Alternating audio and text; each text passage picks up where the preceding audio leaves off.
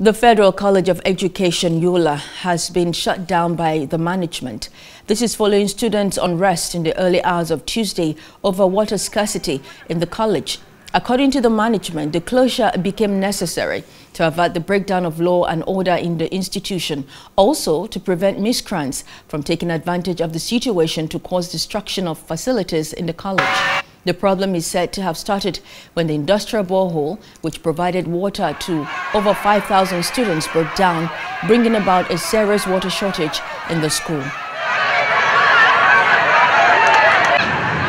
He said that so. He is in the engine room right now, the 11 o'clock, and he's going back home now. He assured me that in the morning, four tank trucks of water will come into the college.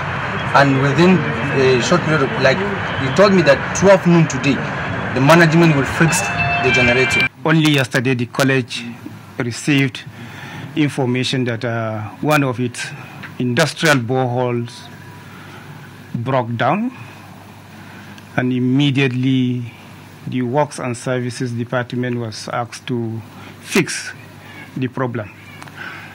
Equally, uh, the provost directed that the college water tanker be deployed to augment the problem of water shortage occasioned by the breakdown of that industrial borehole.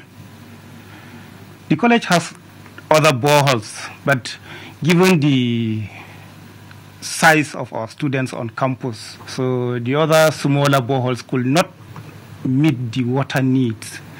Hence, that decision that the that the water tanker should augment while efforts are being made to fix the industrial borehole.